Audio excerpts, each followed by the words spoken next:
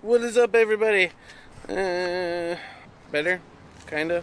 It's super bright, even with the ND filter on here. Today, I'm actually just leaving work because I have to go interview the mayor, and I just wanted to show you guys what I take with me to such things. Now, I've never been to the location, and we're gonna go to City Hall.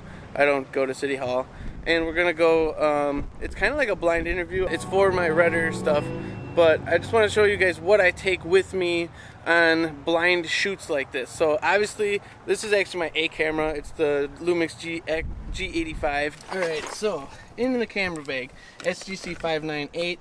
We have the task. Uh, we have the Zoom H4n. So overexposed. It's super bright out today. All right, so we have in the camera bag. First, audio is important the Zoom H4n Pro. Um, I love it. It's a good audio recorder on the go here. And then I've got, uh, obviously the camera I'm using is this camera. Is the, what is this?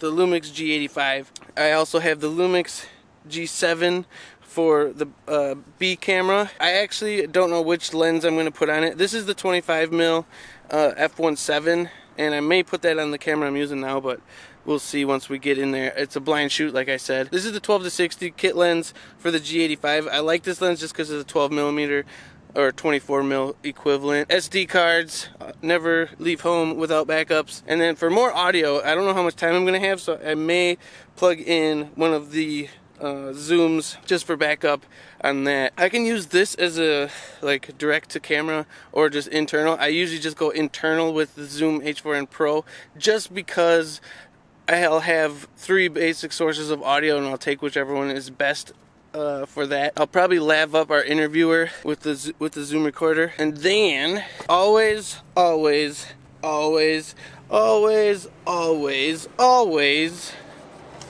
bring extra batteries for your recorders. I always try to bring brand new batteries. I usually plug them in the night before, but I was in a hurry this morning because I had to work and I didn't do that.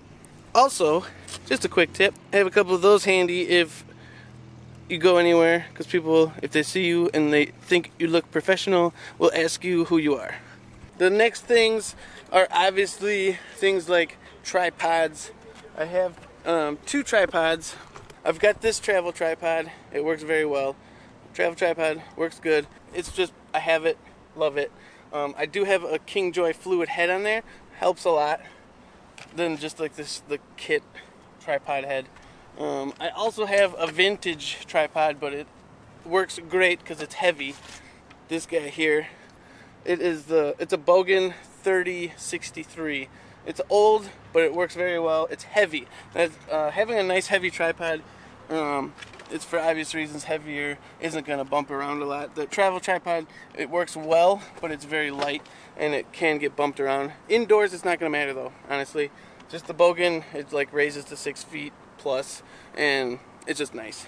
And then because I do use the Micro Four Thirds cameras, indoors generally sucks for lighting. So this is the Sokani um, X, X, XP600 XP600 Pro or something like that this it comes with your power adapter the light itself it's an LED it's bicolor um, it's a great little LED light and I'm overexposed here there it goes so if you can see that it's super bright I can't really see what I'm doing.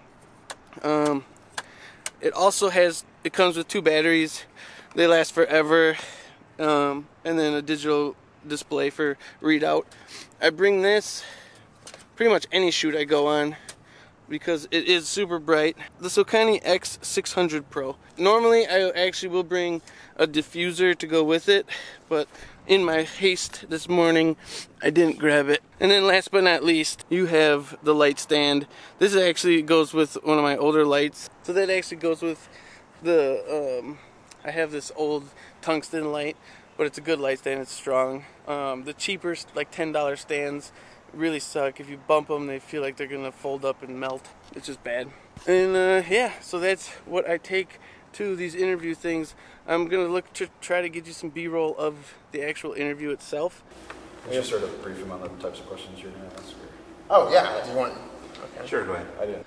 And uh, it's hot out. I'm gonna put this stuff back in my car and wait for the interview.